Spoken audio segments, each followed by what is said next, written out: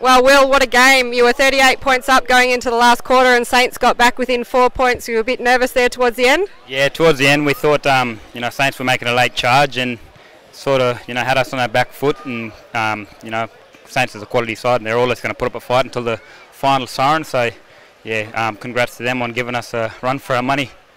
You must be pleased to get the win, though.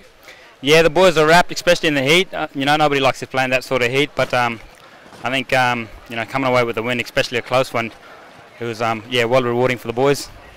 You did set the win up in the third quarter. You held Saints goalless. What was Shannon Rusker's message at halftime?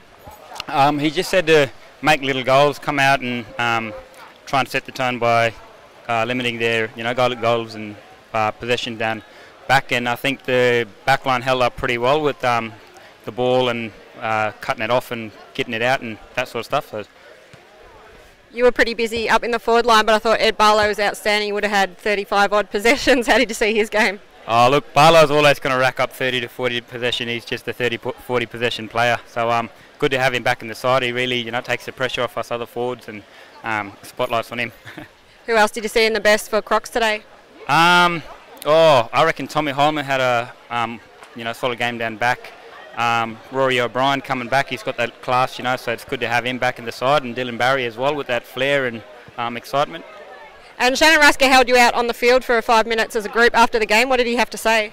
Um, look, Rusker's Rusker is always going to um, be pleased with whatever effort we give, but um, I think he was he was a bit nervous as well. But um, he congratulated us on um, a tough win and just sort of said that you know we've got to be better um, if we're going if we were to face the top sides and yeah.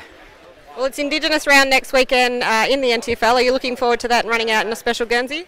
Yeah, I think um, you know Indigenous round it means a lot, especially up in NT, NTFL. You know, most of the players are Indigenous, so it's gonna it's gonna mean a lot um, all across the NTFL on that special weekend. So I, I think everyone's gonna be looking forward to it. Yeah, for sure. Well, thanks for talking to us and enjoy the win with the team. No worries. Thanks, Liz. Yeah, red, black,